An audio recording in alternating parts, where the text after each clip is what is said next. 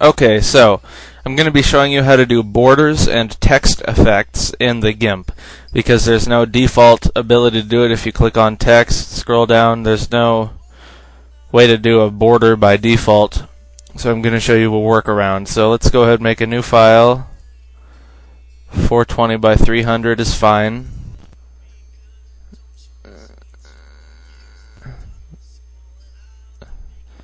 So here we go. Let's go ahead and make a new layer.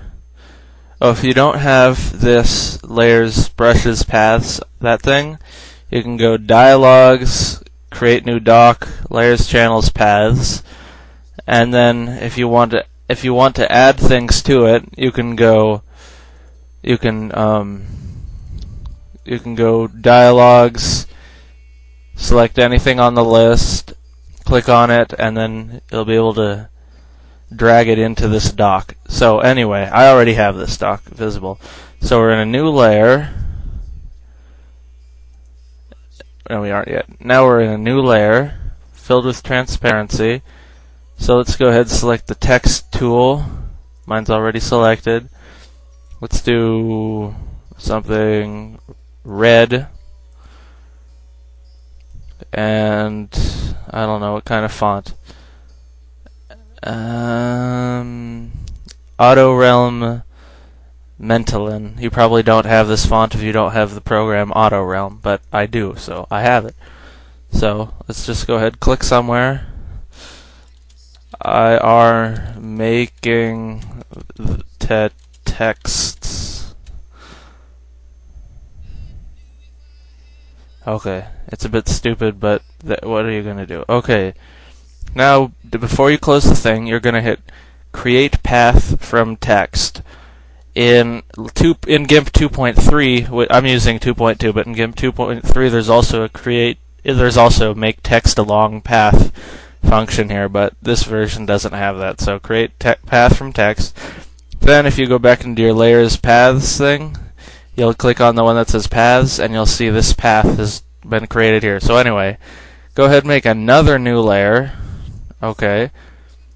And I'm going to go ahead in this layer, double click that, and see that it went all weird looking.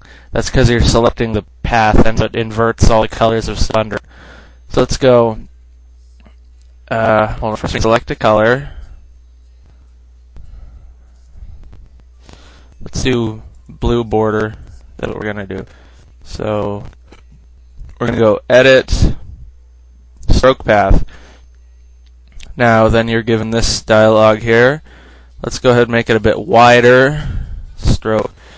Um, switch to a different tool. I switched to the 10. Okay, see, so that's bordered now, but it doesn't look great. See all the weird diagonals going off? So what we're going to do is undo that, go back, reselect the path, now stroke it, but instead of doing this, go stroke with a paint tool. I like the paintbrush because it's anti-alias. And there we go, it's a lot smoother. Okay, so now we have that. Um, so I'm going to go ahead and switch the order of those two layers, if I can. Okay, I have to do it like that. Um, so Let's go ahead on this on this layer make an, another one of these text effects. So I'm going to select that again. Go down to that over here. Let's do green and oh look there's a stroke path button right here and Let's go ahead and cancel that actually. And let's make the paint a little bigger first. 19. Then go back to paths. Double click that path. Stroke the path. Stroke with the tool. Click stroke. And switch to the to different tool. Whoa! Oh, no, I, I did want to do that. Just need to switch the order of the two layers. There we go, so we've got red, blue, green like that.